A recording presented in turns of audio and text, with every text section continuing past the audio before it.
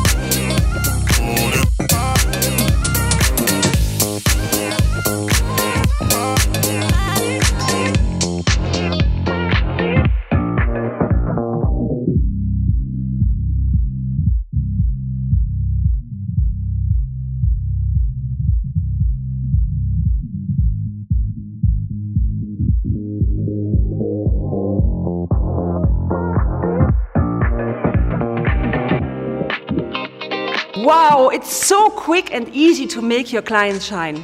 And there's even more for you to check out. Watch Bird's tutorial for prismatic lavender color reflections.